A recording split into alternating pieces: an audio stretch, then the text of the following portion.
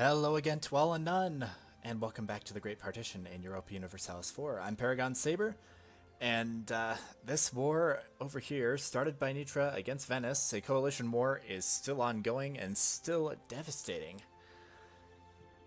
You would almost think it was the League War with how many tags are involved, but that's not the case.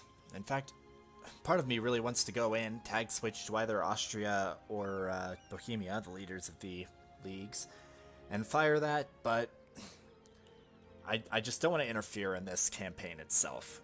If I were streaming, perhaps, on Twitch, uh, I would ask all zero of you whether uh, whether someone wanted to see the League War fired. I'm guessing that the answer would be yes, but uh, as I've said before, I really want this to be a baseline playthrough. You know, no interference from me. Uh, all the cores retained, etc., etc because after this is established, after we've seen what happens without my interference and uh, without any really special situations, I can then go in and make those special situations happen.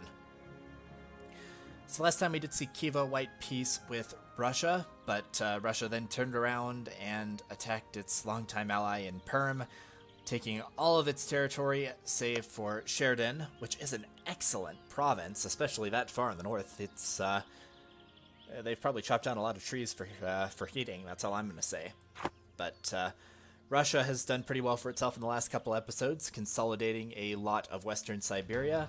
Just needs to take Ustvim from Novgorod and uh, Cherdyn from Perm. I've mentioned that this war between uh, Nitra and Venice has been ongoing for a long time. Actually, Nitra's side winning despite the awful situation over in Odiev. Uh, we're not actually seeing too many people actively going after Venice's territory, so I'm guessing a lot of the people in Venice's trade league have been sieged down by Nitra and his allies. We'll just see how that goes. They uh, did form Prussia. Mazovia, with an embezzling ruler, uh, actually managed to more that uh, Mazovia's embezzling ruler, to pay off debts, sold Königsberg to then Brandenburg, and Brandenburg went and formed Prussia because of that. So, uh, welcome, Prussia. Always nice to see some AI Space Marines. Down here in India, Bahmanis grew at the expense of Bengal. That was either last episode or a couple episodes ago. Uh, and now going after Nagaur. Unfortunate. I wanted Nagaur to do well for themselves. Actually, uh, army just there. I don't know if Nagaur lost anything there. Anyways, uh, Nagaur did grow at Afghanistan's expense. Afghanistan no longer protected by Persia, and uh, that's actually the reason for that. Uh, for Bahmanis' army being there. Persia and Bahmanis are attacking Afghanistan. So uh, that protection gone for the Afghans, and their state likely to be crushed between their neighbors in Persia, Khiva, and, uh, well, Bahmanis not a neighbor, but an ally all too willing to help Persia, especially in such an easy war. Japan finally consolidated, the Ashikaga shoguns managing to integrate their last vassal in Uesugi, and so Japan has formed. Guessing they might want to take the last couple provinces from Ainu. Actually, no, Ainu a tributary state of Japan. So, uh, really, Japan tends to stay kind of isolationist. I don't see them conquer that much, but uh, Korea's looking pretty weak, and, uh, well, there aren't a bunch of, there's not a wall of tributaries for Japan to have to deal with, so, so we'll see if they can expand their influence a little bit. That's enough blabbing for now, let's see how this coalition war plays out.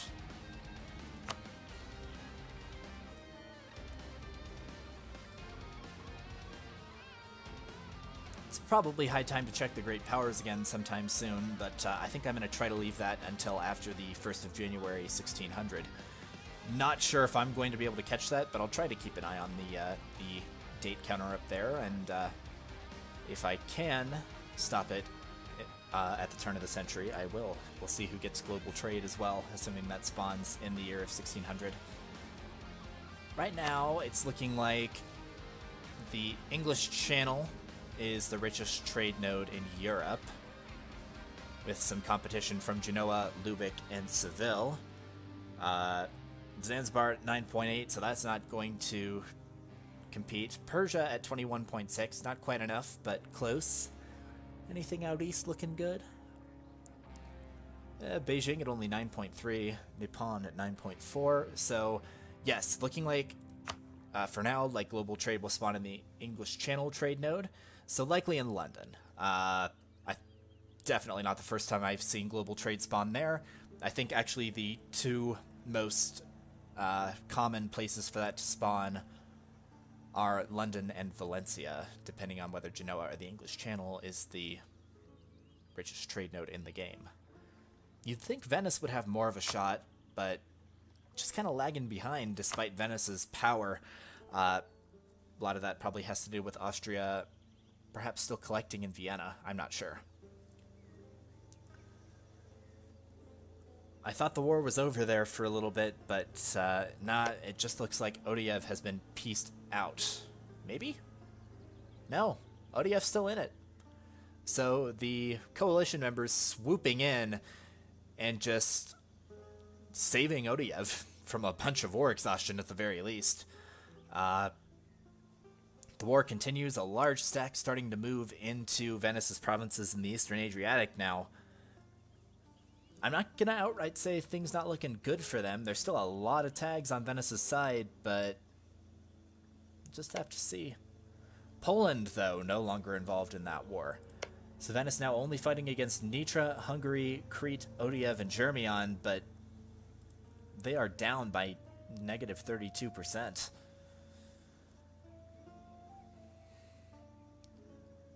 Do have Gascony on their side, helping them out, sieging down uh, Hungary's only province and cap. Well, not only province. Hungary does have Oltenia right now, but uh, sieging down Hungary's capital in Torontal. So I think Venice's side is a fair bit stronger at this point. We'll just have to see if their uh, lower war score comes back to bite them. We do see Odiev's 28k stack on Istria, trying to siege down that fort. Not sure where Nitra's army is at the moment. Ah, there they are. They might actually be looking to try to take down this Gascon stack. Uh, Gascony does have a 5-1-3? Nah, 5-1-2. Yep, Nitra did get involved in that battle, but oh, some reinforcements there from Frankfurt, saving the day for Gascony, sending Nitra packing. Poland's friends, sorry, uh, Venice's friends might not all be the strongest, but uh, they're pulling through. I mean, Gascony's not weak by any means. Uh, they haven't done much expanding recently, but uh, they were at one time a great power. I think they've got over 200 development. This is a very rich region. Uh, over here, we did see Normandy finally, for the love of all that's holy, uh, eaten by Brittany. Level 4 forts have emerged. Tech 14 has has come. I think it might actually be time for like Tech 15 or 16 now. Austria Tech 15, that's generally a pretty good gauge of uh, where the world should be. Those who don't have Tech 15 at a very, very large disadvantage. Uh, that one, I think it's Maurician infantry or something. Uh, regardless, it's a tactics difference, and I think it, it, there's a change of like plus one infantry shock or something. Or maybe it's plus one infantry fire. Uh, regardless, okay, Russia's gone after uh, Novgorod again for a second. I thought that was the city of Viborg going after its former Novgorodian masters, but no, they're uh, they're trying to protect him. Denmark's still alive, not doing much. Russia actually on Tech 16. They have a six. Uh, no, they actually have an empress too, Yekaterina, a Tsaritsa. And uh, well, that five points in military, helping Russia reach Tech 16. Good for them. Another round of Astrakani separatists, maybe not as prolific as the Bulgarians, but pretty close. Speaking of the last round of Bulgarians, uh, I don't know if... I thought I'd seen some Kandari spawned uh, Bulgarians over here, but regardless, we did see the city of Vidin cease, city of Vidin cease to exist, flipped over to the Bulgarians yet again. This time, Bulgaria allied with Ragusa. And we now have the city of Burgas existing too. So many trading cities being spat out over here. Even have Oh, we even have Achaia released in Athens. Venice just saying, I want a vassal here, a vassal there, a vassal everywhere. Uh, actually only has four now, Achaia, Bosnia, Epirus, and Montenegro. Seems that they either lost control of Ragusa or just let him go. Regardless, uh, that's how that goes. And Croatia has just steadily gotten more provinces. Uh, this Serene Doge, 72, a 556. He's been reelected a few times. Uh, regardless, this Serene Doge, not an embezzler, so I'm not sure how Croatia has come into possession of all of these, especially considering they're not they're not allied to Venice. They're not a vassal of Venice. I, am just not sure. Glad that Theodoro is still alive, but uh, can't help but wonder how long that's going to last. Right now, their army getting beaten into the dirt by Riga. They are only on Tech 14 versus Riga's Tech 15. I think that just goes to show how much of a difference that makes. Though Riga also did have a 4-2 general to Theodoro's 2-2. That's also, uh, you know, something that makes a difference. Afghanistan is almost gone. So they have, in fact, been partitioned between Khiva, Persia, and, uh, well, Persia with some help from Bahmanis. They now only hold on to the provinces of Ghazni, Bela, and Thata. Ladakh actually expanding quite a bit there, too. Uh, I don't know if they declared their own war, but uh, regardless, they expanded at uh, Afghanistan's expense. Yarkand formerly looking okay, now just down to Yangi Hisar here in Central Asia. Uh, Delhi actually owning the center of trade in Kashgar. That's got to be nice for them. Khiva looking as good as they can, but one can't help but wonder how long it's going to be before Persia comes for them. That guarantee broken, and uh, that also means that they're not protected by Russia anymore either. So this war has ended. I don't see very much having uh, changed. Nitra has retained its alliances, so I think that might have just been a white peace. Uh, probably just due to war exhaustion, length of war ticking up for everybody. And there's there's Morea being uh, released in Achaia as well. Venice just going vassal happy. I don't know if that's... Does that have something to do with this Doge's personality? Uh, I'm not sure. If uh, one of those two highly positive traits causes leaders to release more vassals.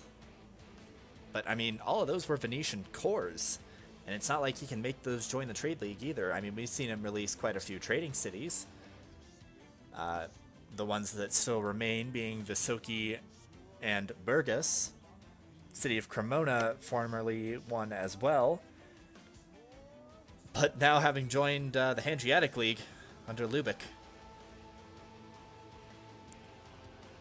By the way, Siena managing to take Milan. They have done quite well for themselves. Uh, I think they're rather lucky that they haven't been at odds with Austria yet. Austria supporting Bosnia's independence from Venice, allied with Gascony, Cologne, Sardinia, and Siena. So that's got to definitely be helping out uh, Siena there. They might have been able to even throw Austria's might around a few times. So things have really calmed down in Europe now. Uh, I think Prussia appears to have grown, and actually the Teutons uh, up here in Tuchola, there were some Teutonic separatists up there for Poland, and uh, Poland's not able to get to them through Prussia, so Mazovia jumping on that, though uh, also fighting Pomerania, so the Teutons spawned again, did manage to get some allies, even joined Novgorod's trade league. That's a lot of people that uh, might possibly be protecting them from the onslaught here of Mazovia. Are they the only one fighting this, or did they call people in?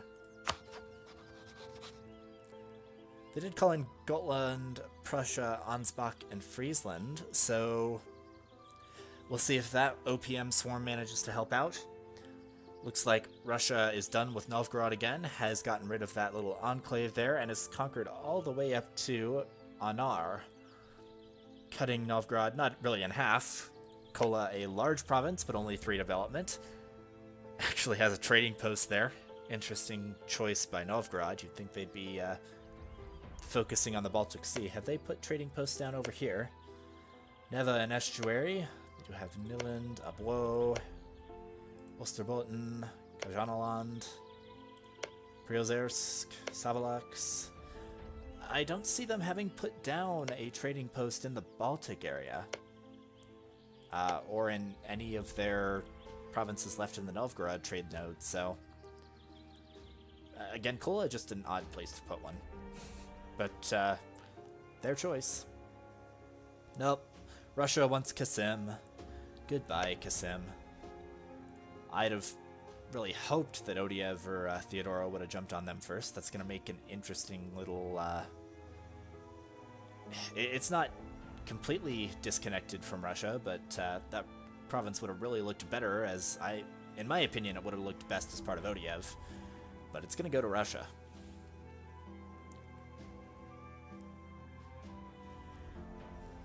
So many people being released over here. Good lord, Venice. How long is it until they can attack Kandar again, or are they doing that? Uh, no, Kandar trying to take back its uh, provinces from the, yet again, spawned Bulgaria. Though the combined Bulgarian-Ragusan force actually sending Kandar packing. Bulgaria on Tech 15, Kandar on Tech 15, so that might have just been the general there. Though, well, Kandar has a 3-2-3. Uh, looks like Bulgaria has a 3-3-3, so yeah, perhaps that uh, turned the tides there a little bit for Bulgaria. Who knows? They might actually grow at Kandar's expense, but then it's going to be a question of who of the majors around them will uh, will collapse on them. It is now getting very close to the year 1600. No imperial authority, no mandate, but Wu holding on to it. And actually not... If they had any, they wouldn't be losing it all that fast. Uh, seems that Miao has been spit out of Huai down here. And Ming given back another province in Waichou. I mean, Emperor Wu's done as well as they can. I mean, they've lost their mandate. They should be losing wars against people, but Eh, we'll see. Former Emperor Yan. I, I, I don't think I'm going to uh, refer to them as only their tag for the rest of the game, frankly. Oh yeah, 1600 passed. Uh, but anyways, former Emperor Yan has continued to expand uh, and done well for themselves, uh, eating most of Jin. Okay, let's check the great powers. Emperor Wu a great power, though they don't have any colonialism or any printing press. Uh, they do have 551 development, but only 275 without. They have eclipsed Venice, though. Poland in 7th with 290. The Mamluks in 6th with 415. Persia in 5th with 554. 832 as soon as they get the printing press. That would be good for second place. Great Britain in 4th with 590. Austria in 3rd with 633. Russia in 2nd with 800. And Spain still in 1st with 884. Check and see if global trade has spawned. Yep, it has, and it has, as expected, spawned in London. So the British uh, not doing all that much on the European continent. They've actually lost Calais back to Brabant. Not sure if they lost a war or had an embezzler that sold it, or uh, what ended up going on. King Alfred II Lancaster is an excellent ruler. I mean, two military not the best, but uh, they're still cut up on all text, and he is an intri intricate web weaver. He's just and he's strict. Strict and excellent ruler personality. 5% discipline. So good. So tasty. Still gotta love the uh, expanded Odiev here. And I, I, don't know where Bulgaria and uh, Ryazan, er, sorry, Bulgaria and Ragusa's army went. Well, there's Ragusa's there. Perhaps they've given up the fight. They're still involved, but uh, Bulgaria's army is gone, and uh, both of their provinces under siege. So, rough stuff for them.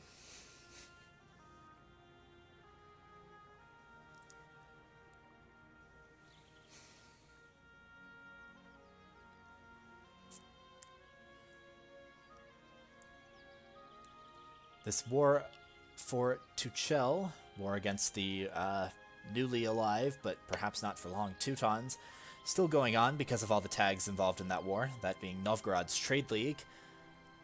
Novgorod itself has been quite reduced by all those wars with Russia, but they still lead a trade league of a lot of tags. Let's count them. Holstein, Riga, Teutonic, er, the Teutons, Provence, East Frisia, Magdeburg, Pomerania, Milan, Sicily, Utrecht, the city of Pirkanmaa, and the city of Viborg. I just listed them. I lost count around 7. So 1, 2, 3, 4, 5, 6, 7, 8, 9, 10, 11, 12, 13 cities in Novgorod's trade league. Not bad for a tag that has been beaten down so many times by its greedy Russian neighbor. Seem to recall Venice having a pretty big one at some point too, but their trading league is just gone. Are they, uh... Oh my. Venice elected, re-elected one too many times. Now under the guidance of a Lord Protector, Simone Gritti. And as soon as he dies, Venice will be a monarchy. I've seen that happen in a few games, but uh, we're seeing it unfold before our very eyes now. Tunis now reduced to only the city of Tunis and Susa by the forces of Morocco. Is Morocco still allied with the Mamluks? They are, and they've also secured alliances with Songhai and Kong. That's gotta be rough for Songhai. You'd think that they might want to expand into Kong, but they'd have to fight their ally to do it. Genet, a possible target, and would get Kong into a war without Morocco's help. But honestly, this is probably all just going to get eaten by Spain eventually anyways. Spain not doing much down here in the south. They still haven't colonized Senku. Have they gone elsewhere? Uh, we did see that they were colonizing the La Plata region. They've actually taken the westernmost portions of Cuba, or of, yes, of uh, Cuba, and make that the easternmost portions, portions of Cuba, the island. Uh, so it is now Spanish West Indies come down here. The Caribbean pretty well split between Britain and Spain. Might invite some uh, wars between them later. The Mexican tags still pretty much left to their own devices. Quiche actually still... Colima and Tarascan still his vassals, still completely unwilling to help him. Tlaxcala itself a vassal of Totonac. That's almost like a turn the tables sort of thing, uh, except you have to be a colonial nation to do, to do that. Totonac, a vassal of Tlaxcala at one point in the past, and uh, that's gone the other way now.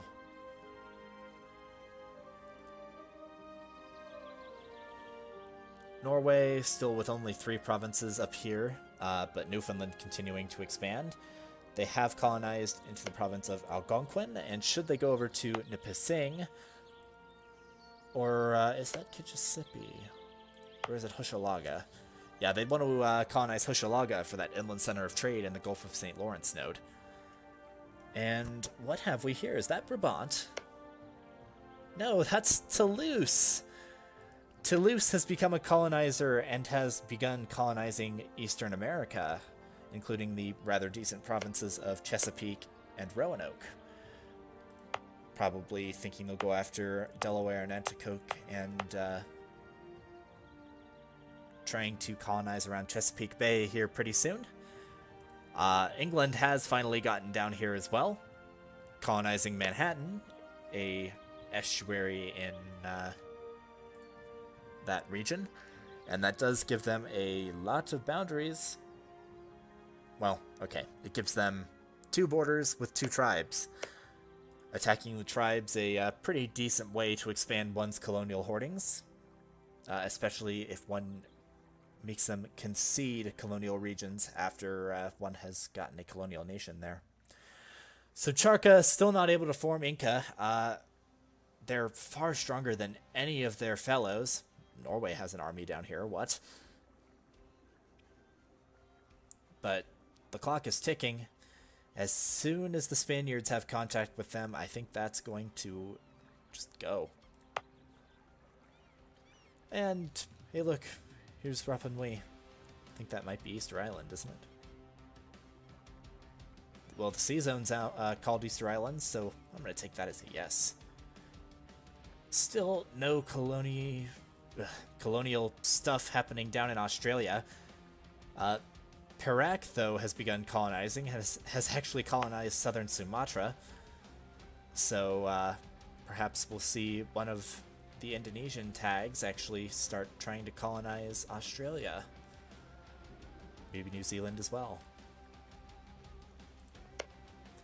Emperor Wu at war with Khmer and Lan Na on one hand and Yan on the other. Second Cambodian conquest of Indrapura, so trying to defend against Khmer. But then we have the Wun Yan War over Chinese hegemony. Despite the utter lack of mandate, Yan winning that battle. Sorry. Because of the utter lack of mandate, Yan winning that battle. I get all these emperors confused, and that was me knocking over a, thankfully not full, coffee cup. Uh, would have gone on the floor instead of on my computer anyways, so that, that's... I was in no danger, let's put it that way. Can't help but wonder when Venice is going to make its move on Constantinople. Uh, we've had some Catholic zealots prop up in Bulgaria. Uh, Bulgaria, her province is Catholic, but spawning Orthodox. So that explains that. And Kandar just continuing to think about going after them and just, just not deciding to uh, feint and faint and faint again. We do have Cologne with a 10 stack over here and Odiev doing nothing. Odiev guaranteed by Russia, but no longer allied to them. That means bad things might be happening to them sometime soon. They do have a pretty big alliance chain. They're allied with some good guys in Nitra and Gascony, both which can help with about 30k each, as well as Sicily, Theodoro, and the city of Burgas, uh, which will give fewer than 30k, but can still help, perhaps. Really not expecting that from Sicily, though uh, they've been trapped on Malta for a long time. We did at one point see Venice actually sieging down Crete. Crete with a smaller army now, but uh, not a vassal of Venice, so... Uh, I just have no clue what Venice was doing over here. I, I don't know. They are at war with Nitra and Odiev again. How has that come to pass? That would be the Nitran conquest of Slavonia. So yes, guessing that uh, earlier coalition war did end in a white peace, and uh, it's been at least five years. Nitra going for Venice again. Venice now without that massive trade league to support them does have a ton of vassals and still allied with the knights, but I think Nitra and Odiev might have this. Could be that Venice's expansion into this area is over. Croatia has now lost some of its provinces back to Hungary. Land has just been changing hands in this area, and I have no clue why. Uh, perhaps Croatia's? Ruler is an embezzler? He has a Lancaster, that's fun. Nah, instead a well-connected lawgiver. Uh, Hungary's ruler benevolent but greedy. Hungary Protestant, by the way. That's interesting. But Nitra still Catholic. Odiev still Orthodox. Great ruler for them. 643, nothing to sneeze at. Poland having to deal with some noble rebels make that Magnate Rebels. Wonder if they're, well, they never had the Sejm in this, though now that they've integrated Lithuania, perhaps, uh, regardless, they have an elective monarchy now. Ended up with a 061. That's pretty rough for them. Great for Diplo, though. Regardless, their magnates are angry with them. Not fun for the Poles. Usually, when you're uh, trying to deal with the serum, you want to be a little more powerful than that. Anyways, I'm sure you heard that, that being the timer. So this episode of The Great Partition is over. Thank you all for watching. Have a good one.